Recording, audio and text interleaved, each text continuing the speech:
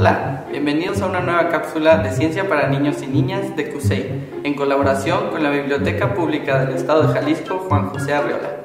Mi nombre es Javier y hoy les presentaré un experimento que se llama cristalización de geodas de sal a través de la evaporación. Lo que necesitaremos para este experimento es sal común, dos cascarones de huevo partidos verticalmente, agua natural, pegamento blanco, colorante para alimentos, una cuchara y un pincel. Lo que haremos en este experimento primero será colocar pegamento blanco dentro del cascarón de huevo. Aplicaremos bastante para que la sal que vamos a echar dentro quede bien pegada. Después procederemos a embarrarlo con el pincel para no ensuciar nuestros dedos.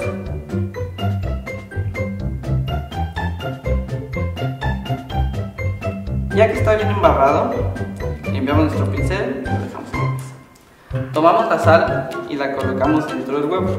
No importa que tiremos un poco sobre el agua porque de todos modos lo haremos después. Aplicaremos bastante. Ya que está aplicada podemos echar el restante en el agua. Después a nuestra agua le echaremos sal, mucha sal. Se necesita bastante para que nuestro líquido esté sobresaturado.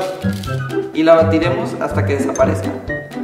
Bueno, como pueden observar, nuestro líquido ya está sobresaturado. Se alcanzan a ver las pequeñas partículas de sal flotando en él. Ya que hicimos esto, vamos a agregar un poco de colorante.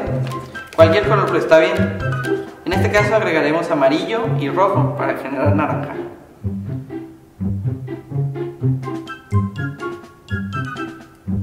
No necesita hacer mucho ya que estos colorantes son muy fuertes.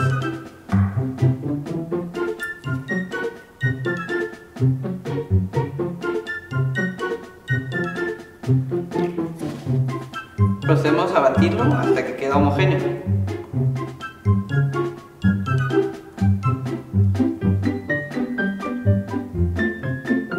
Y por último colocaremos nuestro cascarón de huevo con sal dentro de la mezcla. Hay que asegurarse que quede completamente cubierto y debajo del líquido. Nuestro huevo tiene que quedarse debajo del líquido unos 2 o 3 días hasta que veamos que el nivel de agua pasa por debajo del cascarón de huevo. Esto significa que se está evaporando y que cada vez está más concentrado nuestro líquido. Después de esos días, tenemos que sacarlos y dejarlos al sol para que se sequen.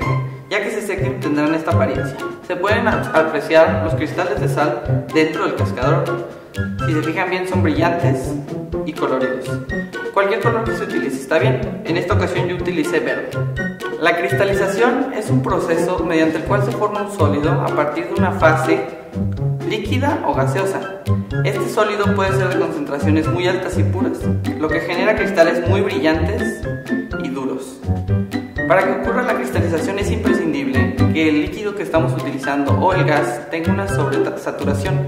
¿Qué es esto? Es lo que se alcanza a observar en nuestra mezcla. Que la mezcla tenga partículas pequeñas de eh, la sal que estamos usando. En esta ocasión usamos sal de mesa, pero se puede utilizar azúcar o cualquier otra sal común que encuentres. Esta cristalización ocurre porque los pequeños fragmentos de sal que están flotando en nuestro líquido se adhieren a los pedazos de sal que, que pegamos nosotros al, al, interior del cascarón de huevo. Si no tuviera la sal pegada del cascarón de huevo, no se pegarían con tanta facilidad y los cristales formados serían mucho más pequeños.